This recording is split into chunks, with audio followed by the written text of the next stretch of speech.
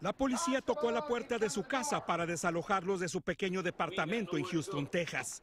Era parte de una serie de desalojos que emprendieron alguaciles del condado Harris la semana pasada contra inquilinos que deben la renta, la mayoría sin trabajo por la crisis del coronavirus. Israel Rodríguez acató la orden que le mostraron y sacó sus pocas pertenencias. Dijo que se había quedado sin empleo por la crisis y al borde de las lágrimas. Afirmó que en un mes solo había ganado 300 dólares, que apenas ya alcanzaban para comer. Su desahucio fue grabado en video y tras difundirse por la cadena CNN, el caso se hizo viral. Entonces se crearon varias cuentas de GoFundMe para ayudarlo, incluyendo una que abrieron los propios oficiales del precinto número uno que acudieron a desalojarlo. Y gracias a Dios a todos los que me ayudaron, todos los que hasta ahorita me siguen ayudando, gracias a mi madre que me da fuerzas, a todos, a toda mi familia.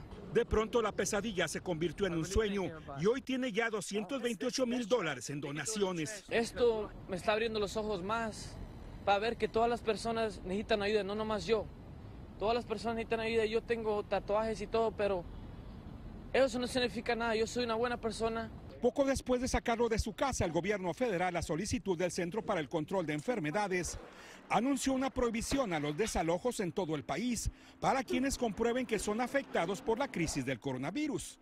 Un alivio para unos 40 millones de personas que viven esa pesadilla. La nueva moratoria protege a todos aquellos que como Israel perdieron el empleo debido a la crisis del coronavirus y estará vigente hasta el próximo 31 de diciembre.